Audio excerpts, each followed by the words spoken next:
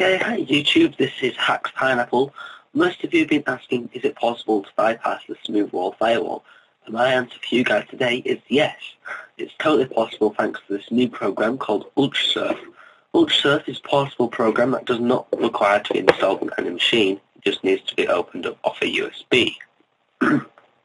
so, okay, so we need to go to ultrareach.com, download UltraSurf, save to desktop.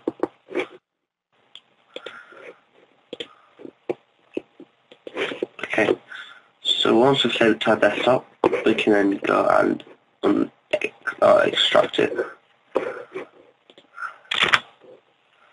Okay, so when you extract it, you'll get a program called U1016.exe.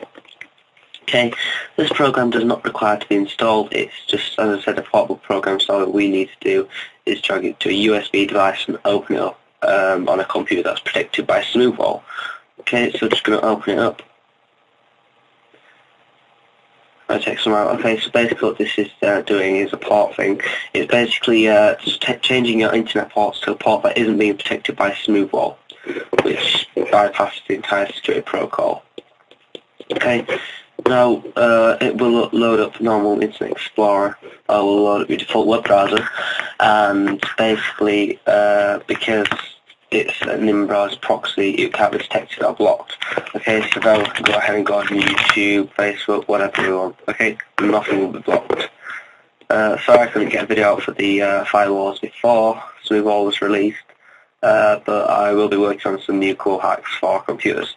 Okay, so thanks for watching. Uh, don't forget to stay tuned. And if you've got any problems, email me in the email address coming on the screen now. Rob at uh, hackedpineapple at gmail.com. That's hackedpineapple at gmail.com. Okay, uh, don't, don't forget to stay tuned to my YouTube profile. Um, I will be releasing a blog very soon, so I'll make a video on that as soon as it's released. Okay, thanks for watching. That's all from Hacked Pineapple for now.